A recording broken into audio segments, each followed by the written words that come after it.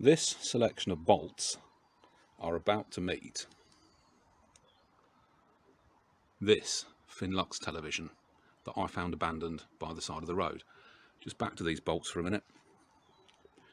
These are standard uh, ABS and aluminium bolts.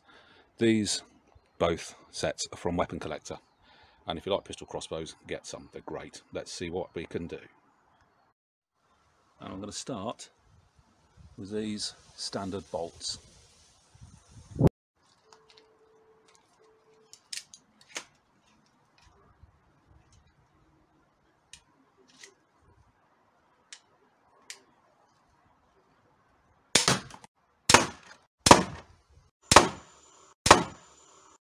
And now let's have a go with these shape bolts.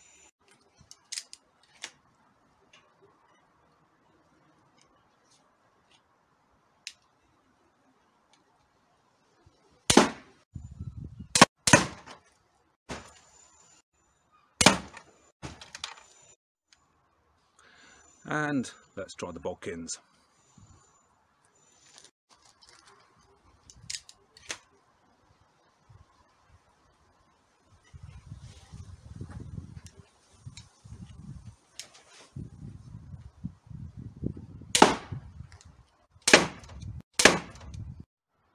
Right, you might notice there's actually one more bolt in there that I've managed to film. Um, camera's having a bit of a hissy fit. It's fixed now. Been threatened with a crossbow.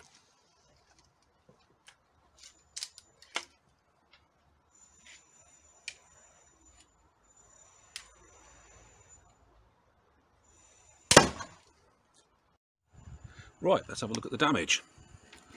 Penetration for these actually seems to be generally a bit further than for the others, which is a real surprise.